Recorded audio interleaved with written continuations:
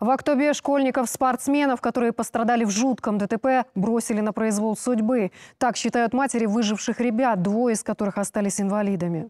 Женщины требуют от чиновников обратить на детей внимание. Говорят, каждому из них требуется реабилитация и постоянная поддержка. Жол көлік оқиғасында Полгода назад девять наших детей попали в аварию. Один из них, к сожалению, погиб. Остальные восемь живые, но с тех пор никто не интересуется их состоянием. Наши дети уже перенесли по несколько операций. Двое из них инвалиды. Им нужно постоянное лечение и реабилитация. Обратите на нас внимание.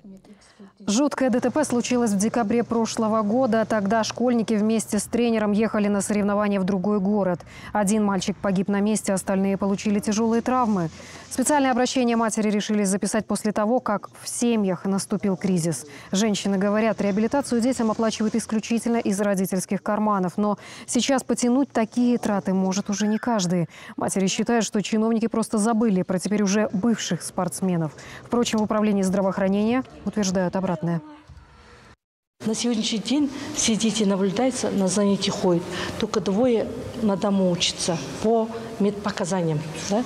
Теперь этим двоим детям мы оформляем документы на инвалидность. На инвалидность оформляем.